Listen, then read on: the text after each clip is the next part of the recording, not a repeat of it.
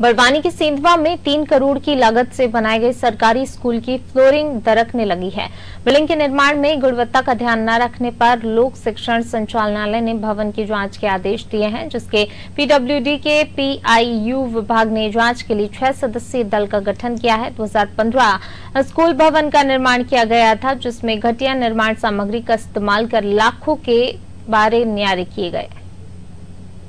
राजकीय model school सेनवा जो कि 2015-16 में पीआईयू के द्वारा बनाया गया है। बनाने के उपरांत ये विद्यालय संचालित होने के लिए हैंडओवर किया गया। इस संबंध में कुछ शिकायतें मिली कि ग्राउंड फ्लोर में कुछ कमी पेशी थी इस, इस संबंध में शिकायत मिली है। जाँच समिति गठित करके जाँच की जाएगी और जाँच उपरांत इसका जो प्रतिवेदन आता है उसको वरिष्ठ कार्यालय को भेजा जाएगा।